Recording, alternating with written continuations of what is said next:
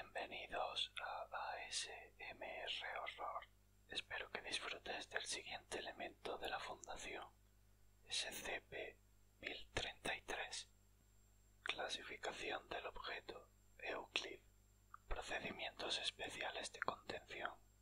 SCP-1033 debe mantenerse en una celda estándar de 15 por 5 metros, recubierto con placas de plomo de 5 centímetros. El personal que entre a la celda del SCP-1033 debe vestir un traje aprobado de materiales peligrosos nivel A. Si la rutina del SCP-1033 cambia o si el SCP-1033 intenta escapar, los dos guardias situados fuera de la celda deben pedir refuerzos a ocho guardias más, todos armados con el kit de contención 4MK3, consistente en un rifle de asalto automático SCAR L con un lanzador de redes bajo el cañón, dos granadas cegadoras y una granada de fragmentación M67.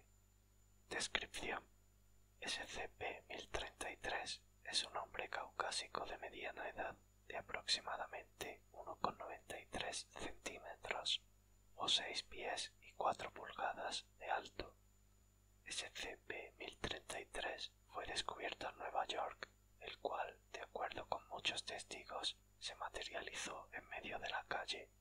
Las entrevistas con los testigos revelaron que las personas de la zona experimentaron un flash blanco que abarcó toda su visión, acompañado de un estallido de estática de dos segundos que se escuchaba en todas las direcciones.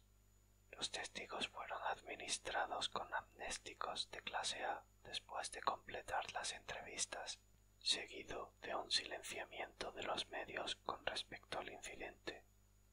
Tras la inspección inicial en el lugar de la materialización, los investigadores de la Fundación encontraron que el SCP-1033 emitía una radiación muy por encima del límite letal, aproximadamente 15.000 milisieverts. SCP-1033 fue inicialmente contenido dentro de un contenedor transportado, el cual fue puesto en su camino. SCP-1033 fue reubicado más tarde al sitio de almacenaje K tachado, donde ahora reside. En aspectos físicos, SCP-1033 no resalta de las demás personas. Un hombre calvo de mediana edad está vestido con un traje de oficina y lleva consigo una maleta. Su comportamiento es cíclico, con cada ciclo iniciado aproximadamente cada 33 segundos. La siguiente línea temporal es una transcripción de su rutina de 0 a 10 segundos. SCP-1033 camina 30 pasos hacia adelante mirando su reloj cada 10 pasos. De 10 a 15 segundos, SCP-1033 se detiene, se arrodilla y abre su maleta. Dentro de la maleta hay un sobre marcado con un sello desconocido y un teléfono celular de prepago marca tachado, capaz de enviar y recibir mensajes de texto y llamadas. SCP-1033 abre el sobre y de él saca de papel marcada con las palabras cable cifrado asimétrico OUU T5LMO o 22. Vamos a erizar algunas plumas. De 15 a 21 segundos, SCP-1033 escribe OUU T5LMO o 22 en un mensaje de texto a un número de móvil de Australia, el cual es 0404 tachado.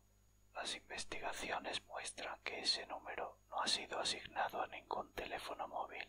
A los 21 segundos, SCP-1033 manda el mensaje, guarda el teléfono y la carta nuevamente en la maleta.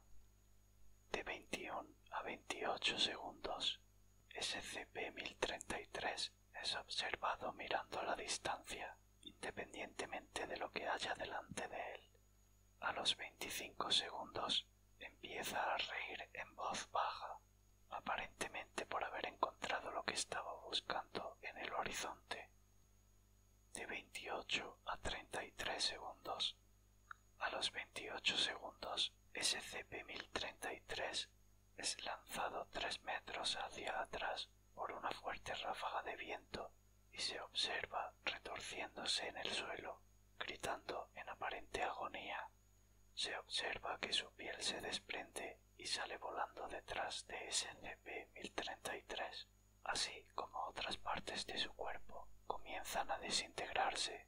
Las lesiones de SCP-1033 sostienen que corresponde con una víctima de una bomba nuclear de 1,5 megatones siendo detonada.